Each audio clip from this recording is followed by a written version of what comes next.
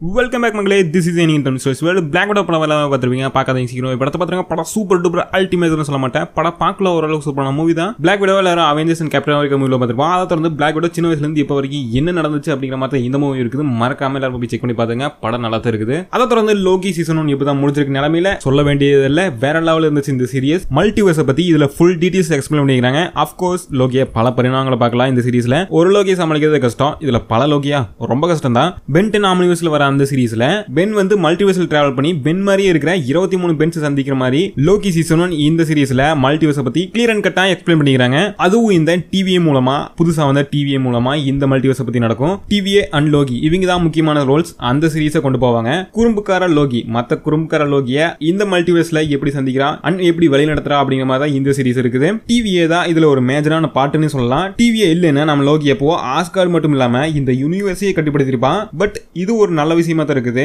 கெட்ட லோகில இருந்து நல்ல லோகியா மாறுது. சீசன் ஒன் இப்பதான் முடிச்சிருக்க நிலைமையில சீசன் டூக்காக ஈகரா வெயிட்டிங் சீசன் டூ அவ்வளவு சீக்கிரமா வராதுன்னு நினைக்கிறேன் எனக்கு தெரிஞ்சு. Falcon and Winter Soldier season two வந்ததுக்கு அப்புறம் தான் லோக்கியோட சீசன் டூ எதிர்பார்க்கப்படுதுன்னு நினைக்கிறேன். எம்சியூவை இப்போதைக்கு எம்சிஎம் சேஞ்ச் பண்ணிக்கிறாங்க. இப்போதைக்கு இல்ல மார்வல் சினிமாட்டிக் யூனிவர்ஸ்ல இருந்து மார்வல் சினிமாட்டிக் மல்டிவர்ஸா சேஞ்ச் பண்ணிக்கிறாங்க டிஸ்னி சைட்ல இருந்து.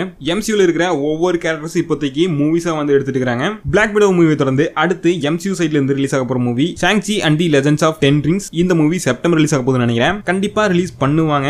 ஏன்னா இந்த கோவிட் சுச்சுவேஷன் இல்லைன்னா படம் எப்போ முன்னாடி ரிலீஸ் ஆகி தோரோட லெவன் தண்டர் மூவிக்காக இப்போ நம்ம வெயிட் பண்ணிட்டு இருந்திருப்போம். டாக்டர் ஸ்ட்ரேஞ்ச் கூட இருந்த Wong Shang-Chi and the legends of ten rings MCU சைட்ல இருந்து ரிலீஸ் ஆக போகுதுன்னு நினைக்கிறேன் அடுத்ததான். கண்டிப்பா இந்த படம் அல்டிமேட்டா இருக்குது போகுதுன்னு நினைக்கிறேன். எனக்கு தெரிஞ்சு பிளாக் விடோ மாதிரி கொடுக்காம ஐ மீன் பிளாக் விடோ ஜேர்னல்ல இருக்காம கொஞ்சம் நல்லா கொடுத்தாங்கன்னா கண்டிப்பா அல்டிமேட்டா தான் இருக்கும். ஃபேஸ் போர்ல பிளாக் விடோ இப்போதைக்கு ரிலீஸ் ஆன டைம்ல மார்வல் ஃபேன்ஸ் அடுத்ததா எதிர்பார்க்க போற பெரிய மூவி என்னன்னு பார்த்தோம்னா Shang-Chi and the legends of ten rings movie தான். சிமுலு அப்படிங்கிறதா இந்த மூவியில் நடிக்கிறாரு. கண்டிப்பா எம்சியூல ஏசியன் அண்ட் அமெரிக்கன்ஸ் ரீப்ரசென்ட் பண்ற மாதிரி தான் இந்த மூவி இருக்க போது நினைக்கிறேன். ரெக்கார்ட் பண்ண போகுது இந்த movie Black Panther Winston Duke அவரோட சண்டாஸ் டிராமா நைன் டேஸ்ல ப்ரோமோட் பண்ற மாதிரி ஒரு இன்டர்வியூ கொடுத்திருந்தாங்க. அந்த இன்டர்வியூல வந்து வாங் ஃபியூச்சர் எம்சியூவை டீஸ் பண்ற மாதிரி சொல்லிக்கிறாரு. அவெஞ்சர்ஸ் என் கேம்ல அவெஞ்சர்ஸ் கில் பண்ற வகையில நிறைய அவெஞ்சர்ஸ் வருவாங்க. தேனோஸை பீட் பண்றதுக்காக. அப்போ கேப்டன் அமெரிக்கா அவெஞ்சர்ஸ் அசம்பிள்னு சொல்ற டைலாக அந்த ஃபேமஸான டைலாக போர்ட்டல் சீனா சொல்ற வகையில ஏசியன்ஸ் அசெம்பிள் அப்படிங்கிற மாதிரி அந்த டைலாக டீஸ் பண்ணிக்கிறாரு. இதுவும் நல்லா தான் இருக்குது. ஏசியன்ஸ் அண்ட் அமெரிக்கன்ஸ் ரீப்ரசென்ட் பண்ற மாதிரி தான் இந்த மூவி இருக்கும்போது ஸோ வாங்காட ஃபர்ஸ்ட் அப்பியரன்ஸ் எதுலாம் பார்த்தோம்னா ரெண்டாயிரத்தி பதினேழு ரிலீஸ் ஆன டாக்டர் ஸ்டேஞ்ச் மூவில ஒரு மெஜிசியனா அப்பியர் இருப்பாரு. இந்த தேனோஸோட அழக்கை இருக்காங்களா Ebony Maw and Cull Obsidian Avengers Infinity வரல Doctor Strange and Iron Man கூட சண்டை போட்டு நிலமையில டாக்டர் ஸ்ட்ரேஞ்சை தூக்கிட்டு போவாங்க. ஸ்ட்ரேஞ்சோட இந்த ஐ ஆஃப் சொல்ல போறேன். டைம் ஸ்டோன் எடுக்க வர அந்த ஃபைட் சீன்ல வாங்கோட அப்பியரன்ஸ் இருக்கும். இந்த குள்ளு கிராண்டில் மேஜிக் பரவாயில்ல வேற ஒரு வின்டர் பிளேஸ் பிளேஸ்க்கு அனுப்புற மாதிரி ஹெல்ப் பண்ணி வாங் அதை தொடர்ந்து அவெஞ்சர்ஸ் என் கேம்கள் கூட தேனோஸ் அழிக்கிறதுக்கு அவெஞ்சர்ஸ்க்காக ஹெல்ப் பண்ற நிறைய பேர் வர அந்த சீன்ல கூட பேங்கோட அப்பியரன்ஸ் இருக்கும். அந்த சாங்சியோட கேரக்டர் எம்சியூல நிறைய இடத்துல அப்பியர் ஆகலினாலுமே அந்த கேரக்டர் மாலோட காமிக் புக் பேஸ் பண்ணி தான் இந்த மூவி இருக்க போகுதுன்னு நினைக்கிறேன். அதை தொடர்ந்து டாக்டர் ஸ்ட்ரேஞ்ச் மல்டிவர்ஸ் ஆஃப் மேன சீக்கிரமா ரிலீஸ் ஆக போற நிலைமையில இந்த மூவில சாங்சியோட கேரக்டர் ஒரு பெரிய ரோல் கொடுத்தாங்கன்னா ஒரு பெரிய முக்கியத்துவம் கொடுத்தாங்க நல்லா இருக்கும்னு நினைக்கிறேன். எனக்கு தெரிஞ்சு. பட் பெரிய லெவல்ல பேசக்கூடிய இந்த கேரக்டரை இந்த ரோலை பாஸ்ட் மூவிஸ்லயே அதாவது டாக்டர் ஸ்ட்ரேஞ்ச் அண்ட் அவெஞ்சர்ஸ் என் கேம்ல கூட ஒரு பெரிய ஃபைட் சீனில் காமிக்கிற மாதிரி இருந்தால் கூட நல்லா தெரிஞ்சிருக்கும். அதிகமாக காமிச்ச மாதிரி தான் இருந்துச்சு.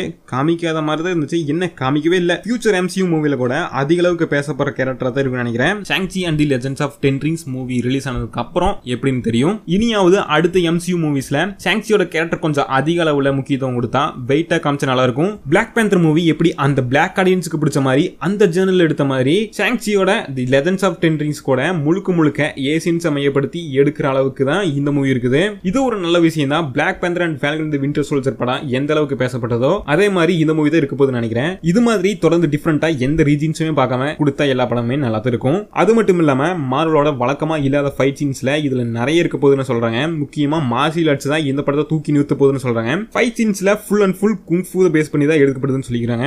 சிஜி அண்ட் விஎஃப்எக்ஸ் கூட வேற லெவலில் இருக்க போகுது. நம்ம நார்மலா மார்வல் ஃபைட் சீன்ஸ்ல பாக்குற மாதிரி இல்லாத அளவுக்கு நியூ ஜெனல தான் இருக்க போகுது. என்ன குங்ஃபூ பேஸ் பண்ணி எடுத்த படம் மூவிஸ் எல்லாம் பார்த்து ரொம்ப நாள் ஆச்சு இந்த படம் அதுக்கான ஒரு தீனி தான். கண்டிப்பா ஈகரா எதிர்பார்க்கப்படுது இந்த மூவி பத்தி. அதை தொடர்ந்து எம்சியூ சைட்ல இருந்து வாட் இஃப் அப்படிங்கிற அந்த அனிமேஷன் சீரிஸ் கூட சாரி அனிமேஷன் மூவி சீக்கிரம் ரிலீஸ் ஆக போகுது. அந்த மூவிக்குமே கொஞ்சம் வெயிட்டிங் தான்.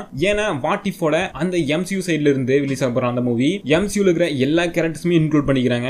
ஒரு டிஃப்ரெண்டா இருக்க போகுதுன்னு நினைக்கிறேன் எனக்கு தெரிஞ்சு. படம் சூப்பரா தான் இருக்க போகுது. ஸோ இதோட இந்த வீடியோ என் பண்ணிக்கலாம். இந்த வீடியோ உங்களுக்கு பிடிச்சதுனா லைக் அண்ட் சப்ஸ்கிரைப் பண்ணிருங்க. இதோட அல்டிமேட்டான வீடியோல அடுத்த வீடியோல சந்திக்கலாம். அது வரைக்கும் take care bye this is எனிங் out Tamil I think the girls with their nails done now.